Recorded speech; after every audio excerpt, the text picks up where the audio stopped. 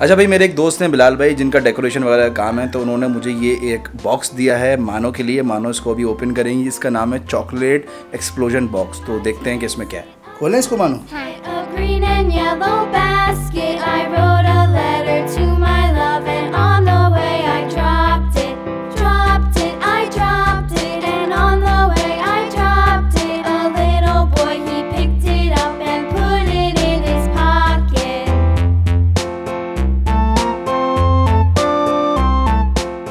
तो भाई ये था चॉकलेट एक्सप्लोजन बॉक्स मानो कैसा लगा आपको? अच्छा।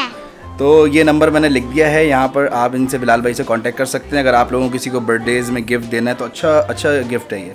तो thank you so much Bilal भाई।